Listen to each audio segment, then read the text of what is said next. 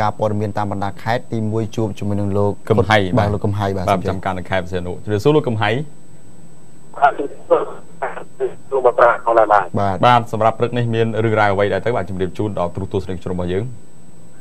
បាទអឺព្រឹកនេះគឺមានព័ត៌មានមួយគឺអង្គការមកសុខកម្ពុជាបង្កើនការយកចិត្តទុកដាក់លើផ្នែកសុខភាពមេដានិងសេរីបាទបាទសូមអញ្ជើញបាទបាទ កម្មវិធីរបស់អង្គការកម្មវិធីថ្មីរបស់អង្គការមកសុខកម្ពុជាត្រូវបានចាប់ផ្ដើមដំណើរការក្រោមប្រធានបទដៃគូសុខជីវិតក្នុងនេះធ្វើឲ្យប្រសើរឡើងនឹងការផ្ដល់សេវាសុខភាពសុខាភិបាលពង្រឹងនិងតាមជាប់ជាមួយសហគមន៍ក៏ដូចជាធ្វើឲ្យប្រែក្លាយចំណេះដឹងឲ្យទៅជាគោលនយោបាយបាទបាទនេះមិនថានៅក្នុងអង្គសិក្ខាសាលាផ្សព្វផ្សាយស្ដីអំពីគម្រោងថ្មីដែលគឺសង្គមជីវិតពីព្រឹកថ្ងៃទី17ខែកញ្ញាឆ្នាំ2013លើសន្តាគារ អមមានក្រុងប្រទេសលោកជុំគ្រូប្រធានគម្រោងផ្នែកជំនួយនៃអង្គការម៉ារីសកម្ពុជាបានថ្លែងថាគម្រោងថ្មីស្ដីពីដៃគូសង្គមជីវិតដែលអង្គការម៉ារីសកម្ពុជាបានលើកយកមកអនុវត្តនៅពេលនេះគឺផ្ដោតសំខាន់ទៅលើសមាជិក6ចំណុចដែលជាគំនិតដើមនៅផែនទីទាំងអស់ផ្លូវដើម្បីបង្លឿនការកាត់បន្ថយអត្រាស្លាប់មេដានជ្រក់ក្នុងនោះរួមមានការសង្គ្រោះបន្ទាន់ផ្នែកសម្ពុកនិងការថែទាំទារកបន្ទាន់ ការសម្រាលដោយស្មោះជំនាញការពន្យាកំណើតការរំលូតគូនដោយចរន្តភាពការផ្លាស់ប្ដូរអេរិយាបថនិងការប្រស្រ័យទាក់ទងនឹងការលុបរបាំងហិរញ្ញវត្ថុដើម្បីឲ្យមានលទ្ធភាពអាចទៅប្រើសេវាបានបាទលោកបន្តអឺលោកបន្តថាដូចនេះការលះអនុវត្តសេវាទាំងនេះគឺជាចលករមួយដ៏សំខាន់ក្នុងការលុបបំបាត់នៅអត្រាស្លាប់មេដាអឺមេដានជារក់និងការរំលឹកពូនដោយសុវត្ថិភាព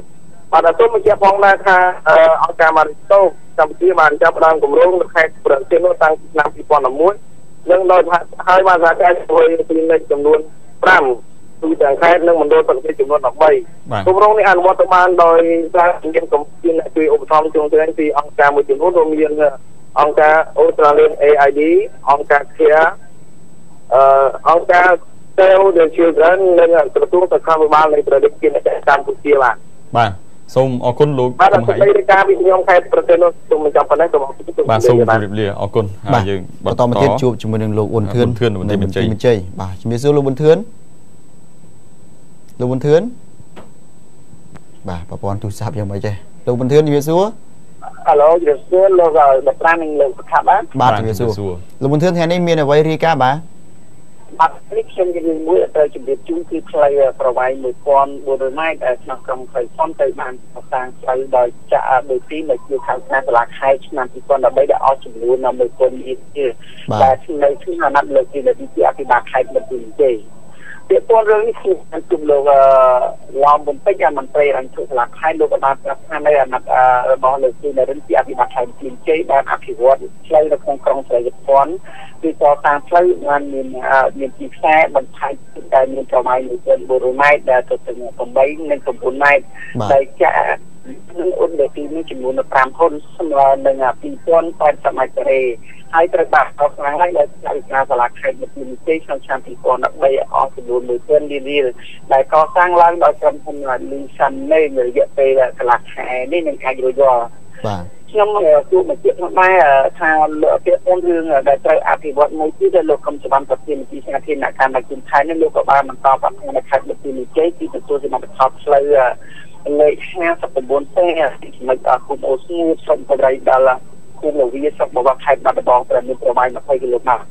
ដែលកសាងឡើងដោយតែទៅនៅអំឡុងឆ្នាំ2013និង2000ដើមឆ្នាំ2000អាចចុងឆ្នាំ2013និងដើមឆ្នាំ2011ដែលកម្រិតថៃស្នារបស់ ADB ហើយចំពោះនោះខាងពងសិក្សាកម្រិតក៏តាមផ្លូវគីឡូក្រាមពីខេត្តតាខេត្តបន្ទាយមានជ័យទៅខេត្តបាត់ដំបងបែបដើម្បីពង្រីកបន្ថែមនៅទីអៈផ្លូវចាស់ដែលមានប្រវែង50ម៉ែត្រសងខាង គឺពី2គីឡូទៅ4គីឡូដែលមានប្រវែង128គីឡូម៉ែត្រដែលត្រូវបានសិក្សាឡើងវិញនៅគម្រោងនេះរបស់ជំនួយ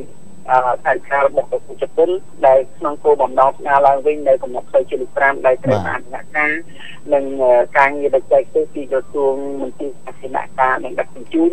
និងទីប្រឹក្សាបច្ចេកទេសនឹងរបស់ឆ្លៃការ លោកបានបាត់ថាការសិក្សាជំនាញដំបូងពីខេត្តបាត់ដំបងមកដល់ខេត្តលំទី2គឺពីចំណុចចំនួន ស្រីគវលៈខាងក្រុងប្រយុទ្ធផន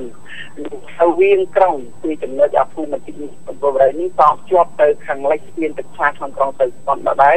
ហើយមានប្រវែងនេះម៉ែត្រនឹងទំនងបន្តប្រកាសពីចំណុចខាងលិចស្ពានទឹកខ្លាក្រុងប្រយុទ្ធផននេះទៅដល់ក្រុងប្រយុទ្ធហ្នឹងមានចំនួនប្រវែង48គីឡូម៉ែត្រដែលនឹងកសាងជម្រៅផ្លូវនេះលេខ5នេះនៅអំឡុងចុងឆ្នាំ2014និងដើមឆ្នាំ2015បាទ ខ្ញុំនេះត្រូវបានបញ្ចប់ណាស់លោកឲ្យសកម្មនឹងលោកបត្រាសូមជំរាបនិយាយដែលកំពុងតាមដានទៅបាទបាទសូមជម្រាបលាអរគុណលោកមន្ត្រីដែលធ្វើសេរីការអំពីការសាងសង់ផ្លូវហើយនិងផែនការបន្តទៅមុខទៀតដើម្បីសាងសង់ផ្លូវបាទអរគុណឥឡូវនេះដោយសារតែតនិកនីលការដល់ពេលដែលយើងខ្ញុំត្រូវសម្រាប់ហើយបាទយើងជួបគ្នានៅវគ្គចុងក្រោយបន្តទៀតបាទបាទ